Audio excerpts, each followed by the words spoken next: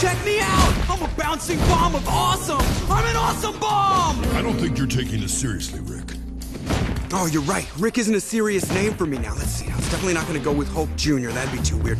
Oh, maybe the Blue Hulk. That's too obvious. Um, Bucky? That's been done. Any suggestions, Big Green? Sit down. Hey, hey, hey, hey! I know! A-bomb!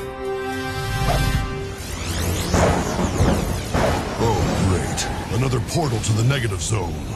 Looks like Bugface is coming back. So now that he's all Hulkified, the A-bomb will help you blow away Annihilus. No, you won't. How do we know you won't change back to human in the middle of a fight? I'm willing to take that chance. I'm not. Hulk or no, you're still a rookie, and you're lucky you survived the first time. Okay, fine. So you'll just shut me out and go it alone? No, I still need a ride into the negative zone. Dude, seriously? Who are you gonna call in who's as awesome as me? The best pilot I